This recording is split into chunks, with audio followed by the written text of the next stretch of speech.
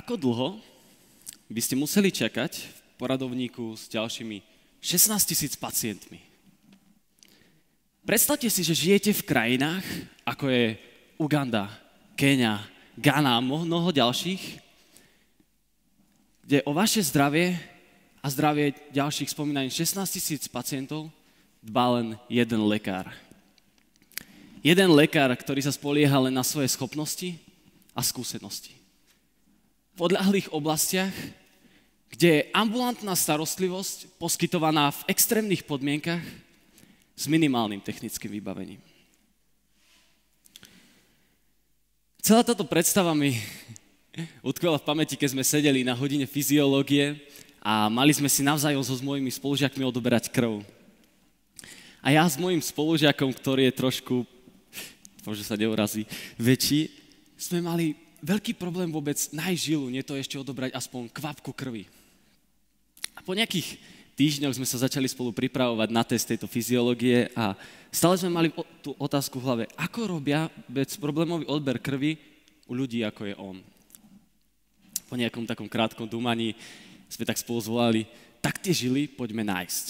A takto začala cesta vývoja Vein Seekera, zariadenie, ktoré dokáže nájsť žily pod vrstvou tuku. Avšak moja predstava o tom, ako pomáhať ľuďom v reálnych ťažkostiach, bola úplne odlišná.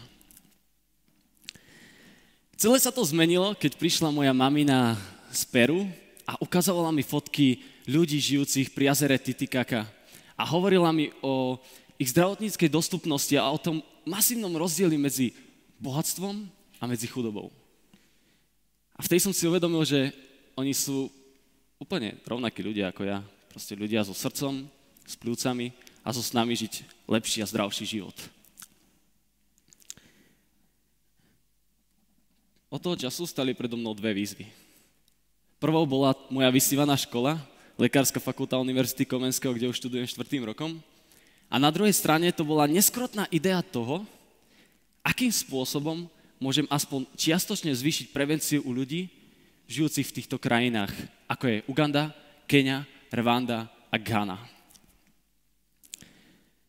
Po pospájaní jednotlivých skladačiek som vytvoril tým piatich ľudí, veľmi šikovných ľudí, ktorí začali vyvíjať malé, prenosné, point of care medicínske zariadenie, ktoré kombinuje smart senzory, prediktívnu analytiku a pacientskú databázu dokopy. Ako som už spomínal, toto zariadenie obsahuje smart senzory, presnejšie glukomer, pulzný oximeter, IR a kontaktný teplomer a tlakomer. Všetky tieto údaje z týchto senzorov si zaznamenáva do databázy a kombinuje ich s údajmi, ktoré tam zaznamenal lekár po vykonaní anamnézy. A tým pádom tieto údaje sú ukladané v tejto digitálnej databáze a lekár vie, ako sa napríklad menila hladina glykémie pri diabetes mellitus, alebo ako, ako sa menil tlak pri, pri terapii počas a no, pred terapiou a podobne. Prediktívna analytika tomu celému dodáva mozog. Vie vám na určité percento predikovať práve tomuto nízko trénovanému zdravotníckému personálu, že dané namerané hodnoty pacienta sú mimo stanovených noriem a následne mu vybere postupy vybrané z regionálnych medicínskych guidelinov, ako by mal postupovať pri liečbe daného ochorenia. Samozrejme, na konci dňa je to stále na rozhodnutí lekára, ako cestu sa vyberie. Nerobíme to pre Ameriku, nerobíme to pre Európu, robíme to pre subsahárskú Afriku. Keď sme začínali, tak sme si povedali, že to bude ľahké, proste zoberieme pár senzorov, napojíme ich na dosku a k tomu pekná apka. Avšak z týždenných deadlineov boli mesačné a z vízie, že náš produkt bude v testovacej fáze, sa vzdialili nedohľadne. Jedný z mojich, z mojich fuck-upov, milióna mojich fuck-upov, bolo nepochopenie oboch častí týmu.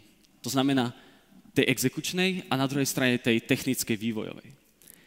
Exekučná časť stihla v priebehu niekoľkých mesiacov získať viac než 20 predobjednávok z krajín ako je Saudská Arábia, Uganda, Kenia, Rwanda, dokonca aj zo Slovenska, získať našu prvú investíciu a na druhej strane vývoj bol vlastne ešte stále je v procese.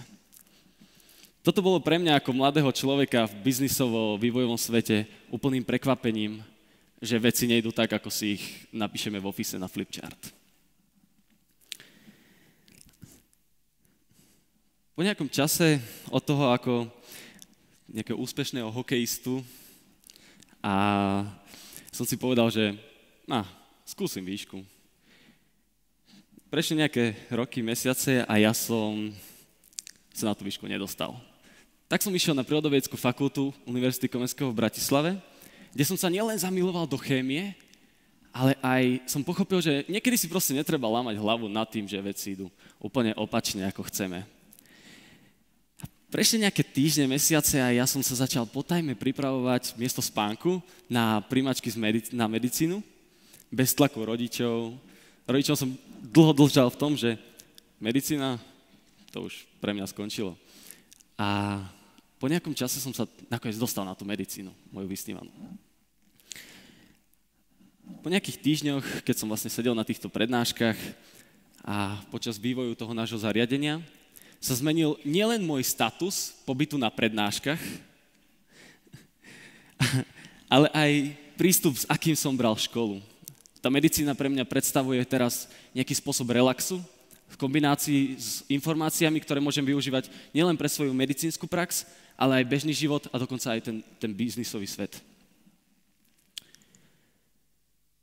Štatistika, ktorú ja tak rád milujem, ukázala, že až 60% ľudí alebo zdravotníkov tvorí nízko trénovaný personál, napríklad v Kenii.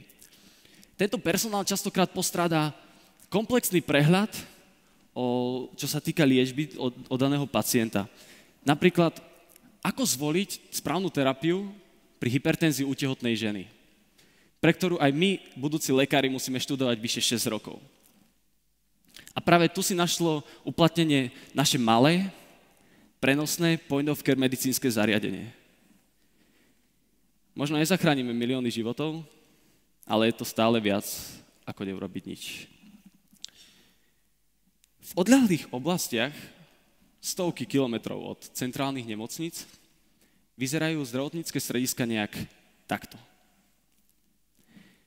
Nielen, že postrádajú úplne fundamentálnu vec, ako je elektrina. Inak, keby ste nevedeli, tak takto vyzerá Afrika cez noc.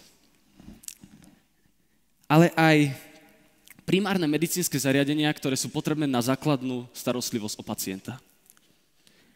A práve v takýchto oblastiach stále pôsobí nízky počet zdravotníckého personálu a stále veľké množstvo obyvateľov Afriky, ktoré musí dochádzať niekoľko hodín až dní do najbližších nemocníc. A ako ďaleko by ste zašli vy? Ďakujem.